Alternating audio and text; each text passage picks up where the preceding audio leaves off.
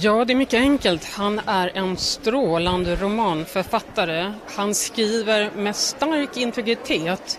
Han tittar inte åt sidan utan han har redan från början utvecklat en egen röst, en egen stil och ett eget tema skulle jag också vilja säga.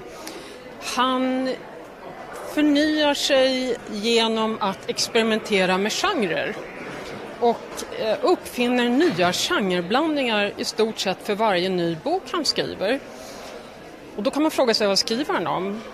Det handlar i hög grad om förhållandet mellan nuet och det förflutna.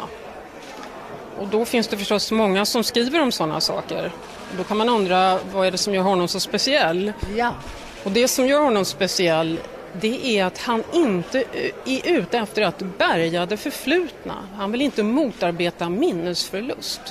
Utan det är snarare så att han försöker utforska vad individer eller till och med samhällen måste glömma för att överleva. Som, vad kan du ge för exempel på vad vi måste glömma? Till exempel brott under andra världskriget eller låg personlig moral under andra världskriget, bara som ett exempel.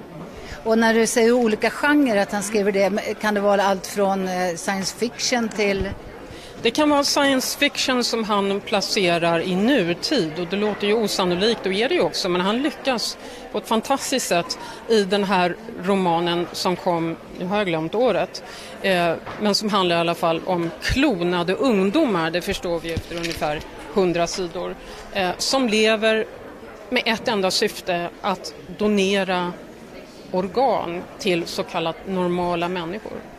Det är en science fiction-bok, mycket otäck.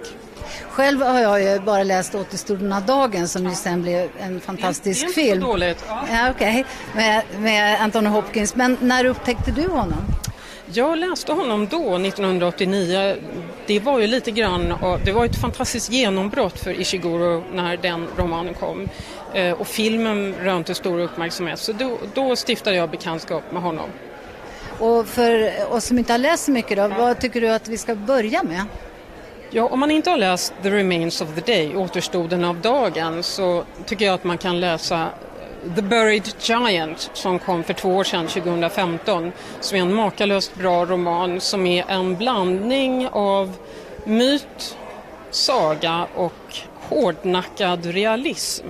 Mm. Skulle du betrakta honom som lättläst för den som kanske inte är så van att läsa lite tyngre böcker? Ja. Hur känns det idag? Känns bra.